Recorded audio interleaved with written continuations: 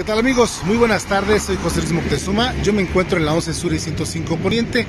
En esta plaza se registró 9.30 de la mañana de hoy una balacera entre personal de custodia de la empresa del traslado de valores Cometra, la cual pues logró evitar este asalto y ser despojados del dinero en efectivo que iban a abastecer los cajeros automáticos de esta sucursal Santander. Los sujetos habrían salido incluso de la propia zona de los cajeros y de algunos vehículos en la zona para enfrentar a los custodios e intentar despojarlos del efectivo cuando iban a abastecer estos cajeros. No se consumó, que quede claro que no se consumó este asalto.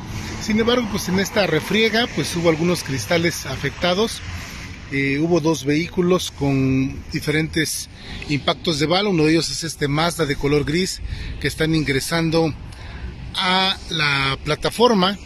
Y esta camioneta de la marca Volkswagen, esta camioneta en amarillo que también como podrá usted observar, pues tiene sellos de la fiscalía que seguramente pues quedan como parte de esta investigación. Así es que el saldo final es de dos custodios lesionados por arma de fuego y se presume que uno de los presuntos asaltantes también se fue herido.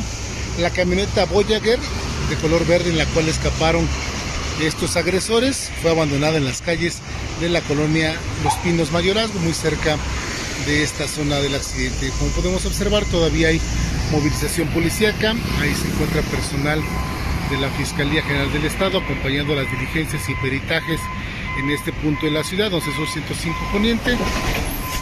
Algunas aseguradoras también de vehículos se encuentran en la zona.